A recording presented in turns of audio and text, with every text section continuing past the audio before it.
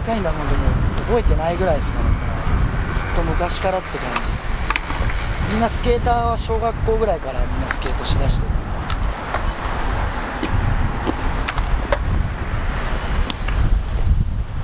でここがジェム・オン・ダ・サンいや俺たちのマイ・ジェム。仲間たちが集まる場所。セガフロントの上にあるここがオン・ダ・サンダイヤモンドルービーサファイアオンファイア太陽の上煙が上がる。ビッチーズフィッシング悪ノリもう何でもいい石ころが転がる。えーまずは NIKE ダスティハスキーセガフロンジャイアンツダイナリデルタフォースティッシュラベルインポッシュレペゼン。Shift 3RD aka ダコクモーレフラミはマイルスワード、ブラアーミー、富士山モスピレッチ、SFG、ボッサここは神奈川の南の方っすね。ー、海沿い、海沿い。あのいやいや湘湘南っていう場所で、まあ、海が海の町です湘南。サーファーの町サーフビレッジで AKA モスビレッジって感じですもともとあそこにセガマセガっていうゲームセンターがあって。でそこでその前っていうことでセガ前っていう感じでついてたんですけど結構昔に潰れちゃって今はユニオンっていうスーパーになってるんですけどそこからもセガ前っていう感じでずっとここのスポットはあって。みんな好きなことやってるしなんかラップしてるやつはラップしてるしスケートしてるやつはスケートしてる。肉焼いてるやつは肉焼いてるし酒飲んでるやつは酒飲んでる。セガ前っていうタイトルよりセガフロントっていう感じで文字をはめ込んでセガフロントって曲できたらたまたま頭文字が SF であの SF のサンフランシスコジャジャイアンツのキャップはなんかもともとスケーターたちはみんなよくかぶってるものでそことたまたまうまい具合にリンクしてそれであの頭文字もそのままいい感じになったっていう感じです。これは今吉明の新しいデッキが届いたんで板を作ってるみたいです。これも初めて見るものです。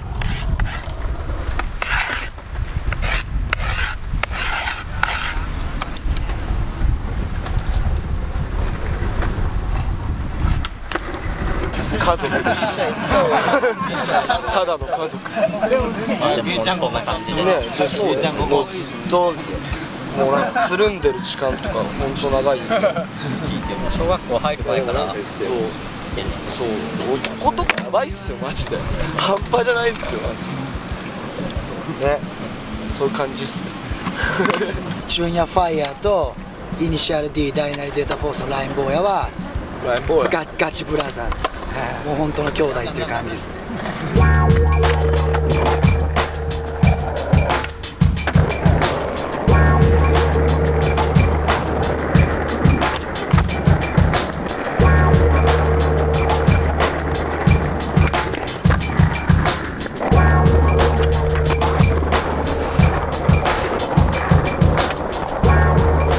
みんな遊んでた延長で始めれるものってなんか改めて何かをしようとかっていうよりは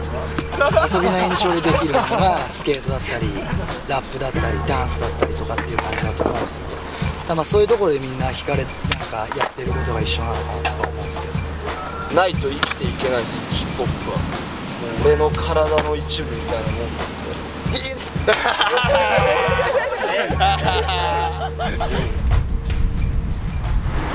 本当イケてるスケーターがどんどん出てきた場所で俺らにとってはすげえ大事な遊び場だったんだけどここはついこの間今年の3月ちょっと潰されちゃってそれのあれでおかげで「セガフロント」っていうアルバムができたんだけど今はただコブもつけられちゃってスケーター全く滑れない状態にさせられちゃった場所。おかしいんすよ。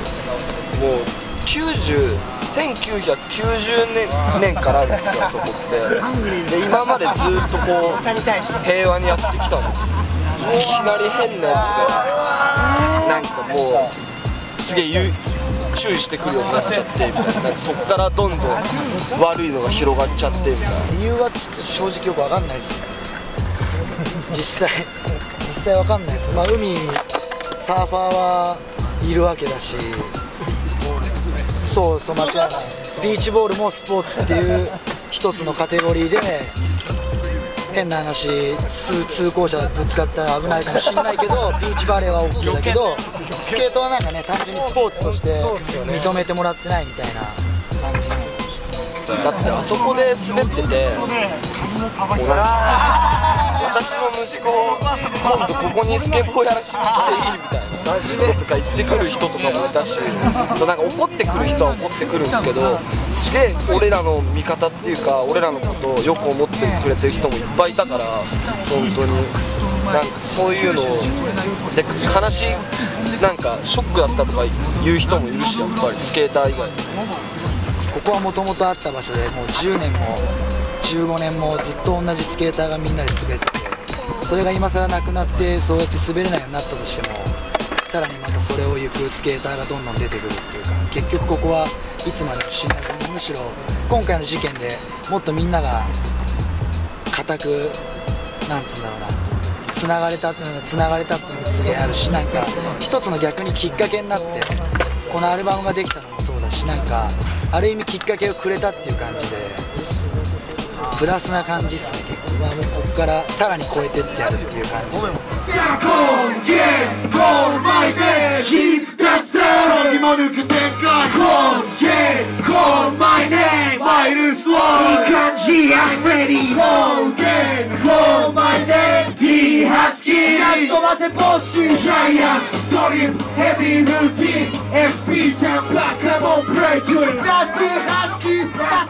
全体的にやっぱそうですなんか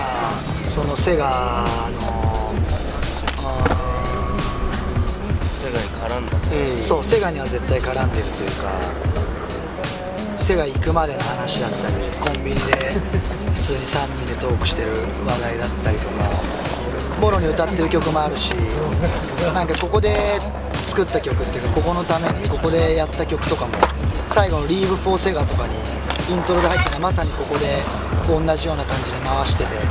で俺が喋ってるのとスケートゲームしてるああいうスケーターのメイクしてる音がカチカチ入ったりとかそういうのなんかすげえ全部活かしてセガに帰ろうみたいな「Leave for SEGA」直訳するとセガに帰ろうあもう大体全体的にセガに歌ってんのがほとんどですねテンション上がりましたよねそりゃ とんでもないです。よセガフロントってスケートスポットの名前っすよ。それの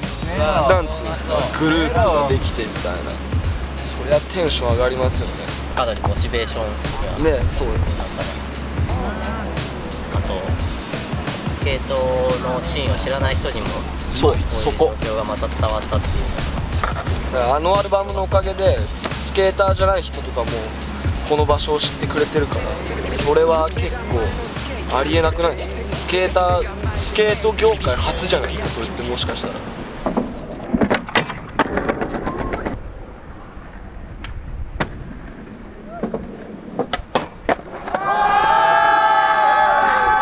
すげえ敵がでかい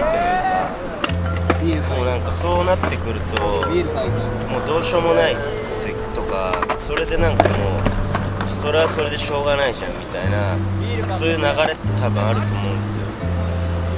なんか今の、まあ、例えば原発とかで言ってもそうだし、まあ、それをなんかどうにかしたいみたいなそういう気持ちもあるっすよそのこの俺らの町のこのすげえちっちゃい区画で起こってる話だけどそれはその例えば原発の問題ともそんな変わりはないしその関係というか。地元にすでに密接な問題それで結局なんかもう。それはそれでなんかもう時間が経つともう忘れられるというか。それをなんかどうにかしたいじゃないですか。どうにもならないなんか力に負けたくないっていう気持ちっすね。なんかなんか黙ってたくねえっていう。その気持ちっすね。はいでも俺は、まあ、仲間っていうかこれを見てるそのスケーターとか僕に憧れてる若い子らに言い言いたいんですけど、いやいや。まあ、状況いろいろ変わったけど変わらずに俺らはここにいてそう同じスケートを続けてるからここに来たらスケーターが見れるっていう場所だったからそれは今でも変わってない違いない。えー、やばい今のシャレとやばい。間違い。ない今の。マジでやばい。今のやばいちょっと鳥肌いやいや本当そう今やばいマジでやばかったロックがつくとやっぱりみんな人が離れてっちゃうからそうだね。本当そうだねいなくなる普通だったら。ここはそうじゃないです。いややばい今の